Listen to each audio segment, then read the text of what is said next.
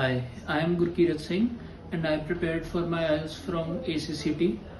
When I took my exam, I scored 8.5 bands and the staff was very helpful and the material was very resourceful. And to whoever wants to apply for this exam, I suggest this institute. Thank you.